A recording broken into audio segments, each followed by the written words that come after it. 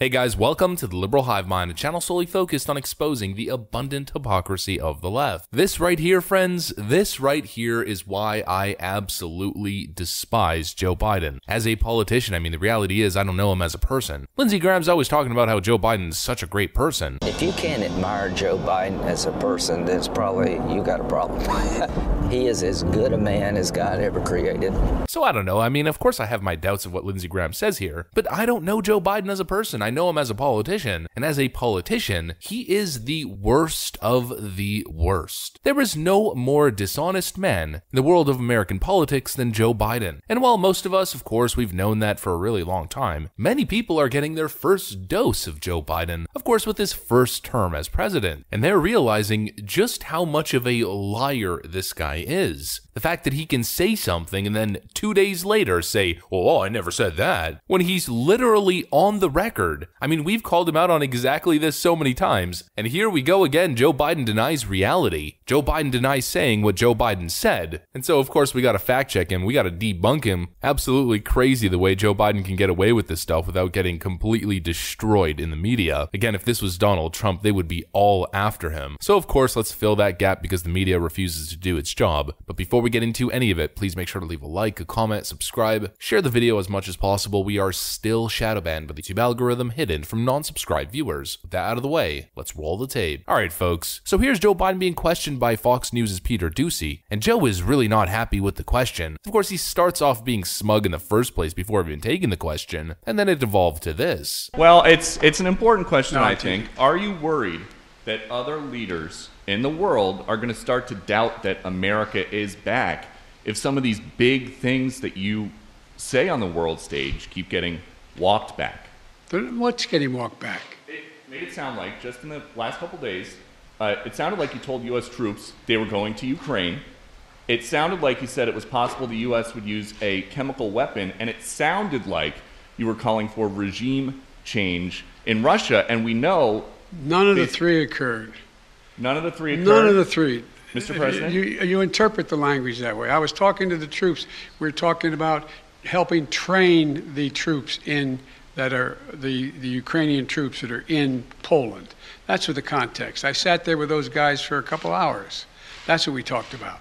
So when you said you're going to see when you're there, you were not intending. To I was referring to with meeting with and talking with the uh, Ukrainian troops that were in Poland. And when you said a chemical weapon use by Russia would trigger a response in kind, It will trigger a significant response. what does that mean? I'm not going to tell you. Why would I tell you? You got to be silly. The world wants to know. The world wants to know a lot of things. I'm not telling them what the response would be. Then, then Ru- Russia knows the response. Joe Biden literally just said he never said any of those things. Did you see Peter Doocy's reaction? Absolutely stunned. He's like, wait, what? Did you seriously just deny all of your quotes that have been moving around in the media over the last couple of days? And yep, of course he did. Now, the only plausible deniability that Joe Biden has, considering he's a dementia patient, is that he doesn't remember saying any of it. But of course, Joe remembers. The first statement that he goes on to try to justify by claiming, oh, well, what he really meant was that American soldiers are going to see on the ground when they train Ukrainians, I guess in Poland is what he was saying. But of course, here was the quote. And you're going to see when you're there, and you've, some some of you have been there, you're going to see, you're going to see women, young people standing, standing in the middle of front of a damn tank, just just saying, I'm not leaving. I'm holding my ground. They're incredible. And I don't know about you guys, but it sounds an awful lot that Joe Biden was describing what it's going to sound like when those American soldiers are on the ground in Ukraine. Of course, we could be wrong, there could be missing context, but that to me just seems like Joe Biden trying to clean up his own mess and trying to shift the context of the conversation. Seems a little bit odd because he's talking to American soldiers and telling them about the, all the horrible things that they're going to see when it comes to Ukrainian civilians and women in front of tanks, if I remember correctly. But he's now claiming that the context of what he was talking about was American soldiers in Poland working with Ukrainian soldiers. But then where does the element of Ukrainian civilians come into play? Is he talking about American soldiers training Ukrainian soldiers in Poland at refugee camps? I mean, I don't get it. It sounded an awful lot like Joe Biden was preparing them for what they're going to see on the ground in Ukraine. What it really is, is Joe Biden either misspeaking or Joe Biden accidentally spilling the truth and now having to clean the whole thing up. He claims to have said none of what Peter Doocy is accusing him of. He never called for Vladimir Putin to be taken out of power. He literally did. For God's sake, this man cannot remain in power. So at the State of the Union address, he said, Go get him. Then later on, he claims that Vladimir Putin can no longer stay in power. Then, when questioned by Peter Doocy whether or not he said that, he denies the claim, while during another event refuses to walk it back. Do you believe what you said, that Putin can't remain in power? Or do you now regret saying that because your government has been trying to walk that back? Did your words complicate matters?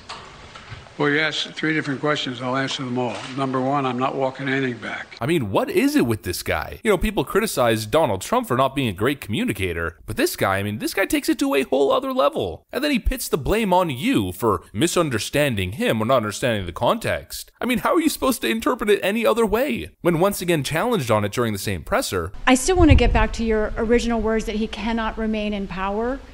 Can you help us understand? You have more foreign policy experience than any president who has ever held this office. Whether those are your personal feelings or your feelings as president, do you understand why people would believe you, as someone commanding one of the largest nuclear arsenals in the world, saying someone cannot remain in power is a statement of U.S. policy? And also, are you concerned about propaganda use of those remarks by the Russians? No and no. Tell me why. You have so much experience. You are the leader of this country. Because it's ridiculous. Nobody believes we're going to take down. I was going to. I was talking about taking down Putin. Nobody believes that. Number one. Number two. What have I been talking about all since this all began? The only war that's worse than one intended is one that's unintended. The last thing I want to do is engage in a land war or a nuclear war with Russia. That's not part of it. I was expressing my outrage at the behavior of this man. It's outrageous. It's outrageous. And it's more an aspiration than anything. He shouldn't be in power. There's no, I mean, th- people like this shouldn't be ruling countries, but they do. The fact they do, but doesn't mean I can't express my outrage about it. In that interaction with that female reporter, he claims that nobody would believe that. This idea that Joe Biden called for regime change or taking down Putin, when that is literally exactly what was interpreted based on the statement that he made. I mean, it was clear, cut, and dry. That's what he said. I mean, even CNN called him out on that one. Kaitlan, President Biden suggested that no one could have interpreted his remarks as calling for regime change.